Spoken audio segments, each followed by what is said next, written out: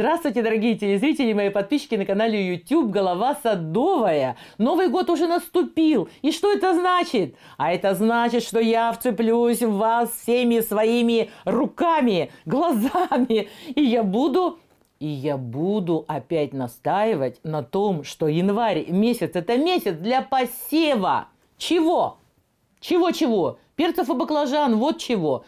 Да, и не надо на меня так смотреть, и не надо делать удивленные глаза, вы уже давно к этому привыкли, что мы сибиряки, и все, кто находится в зоне рискованного земледелия, то есть это севера, это, естественно, северная часть нашей огромной страны, посеять должны раньше, чем те, которые живут в южной части или хотя бы в средней части России. Это ведь не одно и то же. Вы что хотите? Баклажаны, перцы хотите? Плоды? а не листья? Ну тогда напрягитесь. И я сейчас скажу, почему это нужно делать сейчас.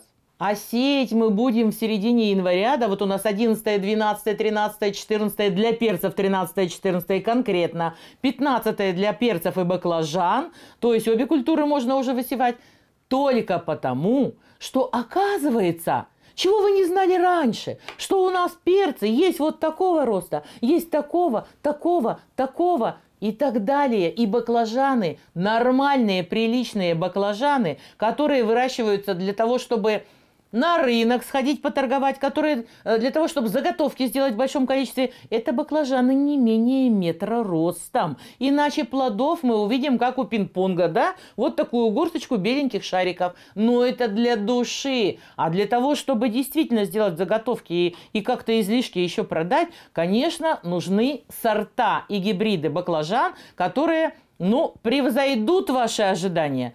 Потому и посев таких высоких растений – он производится, естественно, очень рано. Почему? Да потому что растут они очень долго. Но при всем при этом они абсолютно не страдают от сухого горячего воздуха наших благоустроенных квартир, от того, что не хватает несколько света, а я вас научу чем пользоваться, чтобы и эту проблему как-то немножко удалить, не применяя там особых ламп. Все-таки освещение дополнительное нужно. Ну, простите меня, если вы хотите есть вкусно, значит надо немного потратиться. Лампы дополнительного света должны быть обязательно. Смотрю в ту сторону, потому что там как раз включены те мои замечательные фиолетово-розовые лампы. Значит, ну и э, для того, чтобы все правильно посеять, надо сначала обработать семена. Семена но почву вы должны были уже обработать, потому что такие рецепты я уже вам давала. Ну, приступаем к обработке семян. Что это значит?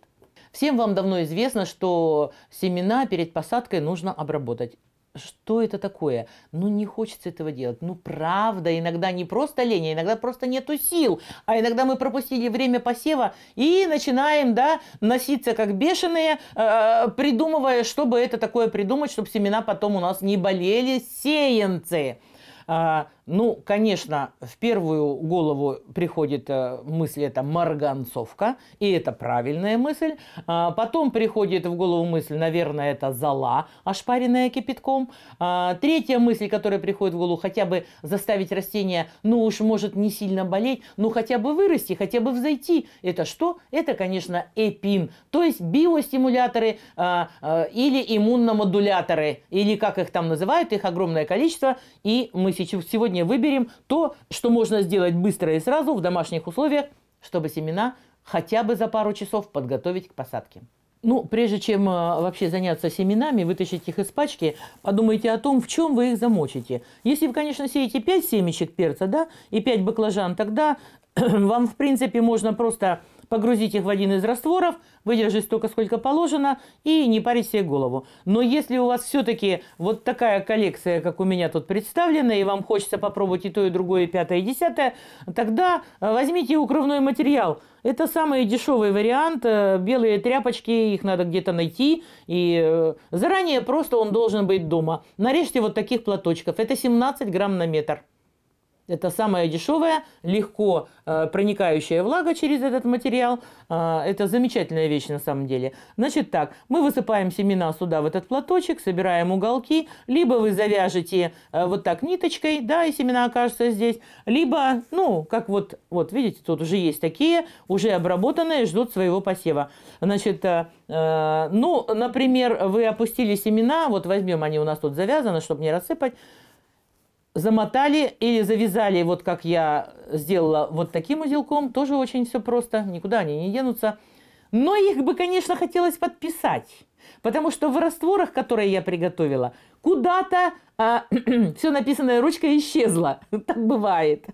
И все. И вот эти платочки, да, с завязанными семенами, куда мы в первый раствор, какой раствор мы должны опустить, чтобы, а, ну, исключить вероятность э, заболеваний, которые живут на э, внешней стороне каждого семечки. А они там живут, поверьте мне. Значит, э, я взяла залу. Так, это оставим. Я взяла залу. У меня тут по две плошечки, потому что у меня семян было много всяких разных. Залу, стакан э, кипятка. Я туда отправила столовую ложку золы с горкой. Размешала все, остудила до теплого, хорошего состояния и опустила семена туда примерно минут на 15-20. Прямо сложила все туда.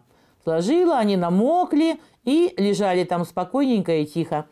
После этой процедуры была разведена марганцовка, но не ядовито-розового цвета, не темно-розового совсем, потому что при такой вот троекратной обработке, у меня три раствора здесь, то, конечно, э, можно и сжечь э, оболочку и добраться еще и до э, центра, то есть ядра семечки. Это нежелательно. После того, как обработано было все в зале, все это нужно отжать, можно воспользоваться бумажной салфеткой. Потом это все поехало в раствор, раствор марганцовки, марганцово-кислый калий. Все опустили и оставили еще на 15 минут. То есть полчаса здесь, 15 минут здесь. Через 15 минут раствор можно чуть покрепче, но сильно крепко не надо. Через 15 минут мы все это отжимаем. Хорошо так, не пораньте только семечки. И теперь отправляем в третий раствор – Здесь, кажется, прозрачная вода не совсем так. Для того, чтобы семена получили толчок к прорастанию, нужно, конечно, э, стимулировать их на это. А стимулятором прекрасным является и пин, и он э, после обработки семян и пином, они будут расти, конечно, гораздо лучше, чем семена необработанные. Две капли на стакан – вполне достаточный раствор, чтобы выдержать там семена. Но здесь уже тоже можно полчасика подержать, и э, никакой беды с семенами не случится при такой концентрации. Потом, когда вы все это вытащите из растворов, ну, если срочно надо сеять, тогда просто берете бумажное полотенце, заверните, пожалуйста, свои семечки прямо вместе с укрывным материалом, отожмите их а теперь... А теперь уже все. Они не такие мокрые, можно все это развязать и спокойно... Можно высыпать на газету и подсушить. Это ровно 10 минут нужно, чтобы они подсохли. Можете еще раз промокнуть сухой салфеткой. Вот они, обработанные семена баклажана. Они готовы к посеву они немножко слипаются, ну, подсушите, ничего такого нет. Если вы все-таки готовите сегодня семена, а завтра будете сеять, тогда э, подсушивать их не обязательно, слегка отжать. Э, вот они мокрые, те же салфетки, они, они не мокрые, а влажные. Вот они семечки завернутые. И знаете, вот здесь вот есть семечки вот такого цвета. И сейчас каждый из вас скажет, а вы зачем их замочили? Они же цветные, они же не замачиваются, вы же сами говорили – говорила. Но знаете, почему я их замочила? На пачках семян, представьте себе, например, вот пачка семян, да, перцы, написано, угу, сходит при температуре 25-28 градусов, на самом деле 28-30 градусов было бы лучше, и дальше прорастают на 15 дней. И дальше высевать только пророщенные. Но пророщенные семена можно высевать только замочив их, так ведь? Поэтому вот таким образом обработанные все семена, которые находятся здесь в пакетиках, в платочках, вот я их сейчас все соберу. Здесь остались только перцы непосеянные И сегодня я их посею непременно. Они все, вот они синие, они тоже обработаны, они все набухли, они стали толстыми невероятно. Развяжу для того, чтобы вам показать. Вот мне очень хочется, чтобы вы понимали, что с ними происходит. Вот это черные эти штучки, это угольки от золы, видимо, зацепились за укрывной. Смотрите, какие они стали толстенные. Я думаю, что пролежав ночь во влажной салфетке, а укрывной он хорошо влагу пропускает, салфетка давала влагу, они готовы прорасти. У некоторых появились носики, то есть они уже проклевываются. Я их посею. Естественно, э, специально подобранные емкости. На сей раз это будет что-то необычное, я вам это покажу. Но вот таким образом обработанные семена принесут очень много вам радости и пользы. Я надеюсь, что почву перед посадкой вы тоже, милые мои, обработали. Потому что два раза сеять одно и то же не хватит ни денег, ни времени. Я желаю вам успеха. Не забудьте, обработка семян обязательно.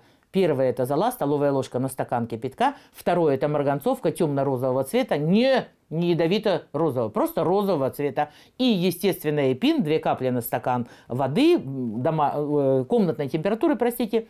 И все это 30 минут в зале, 15 марганцовки, 30 минут в эпине, и вы королева или король. Всего доброго вам и до свидания.